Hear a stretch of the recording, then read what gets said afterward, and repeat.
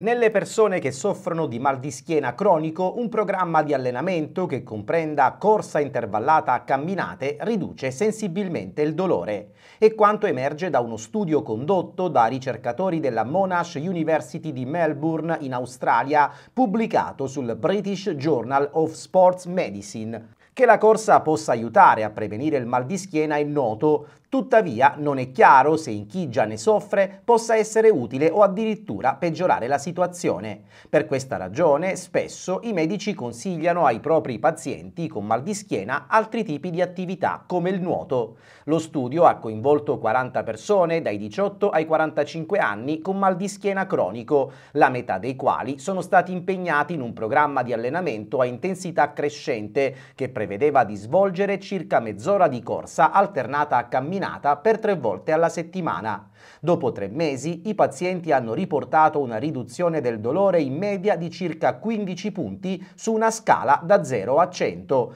miglioramenti anche nell'indice che misurava la disabilità legata al mal di schiena.